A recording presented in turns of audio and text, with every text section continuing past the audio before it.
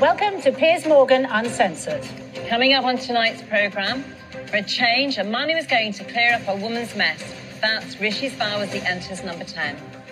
As, as you were, Sunak's stability extends to the cabinet with the big beefsteak and all her cages, but Braverman back at home in the Home Office. Sorry, I've just completely messed up. They're in our studio and we've risked them for a clue. Stick around for Just Stop Oil live.